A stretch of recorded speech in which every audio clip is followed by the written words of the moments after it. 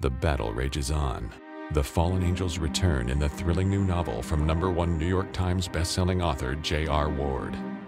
Envy is about um, the son of a serial killer who is also a homicide detective. And the devil goes after him, the demons go after him. And it's the story of him falling in love and James Heron fighting over his soul. Read Envy by J.R. Ward.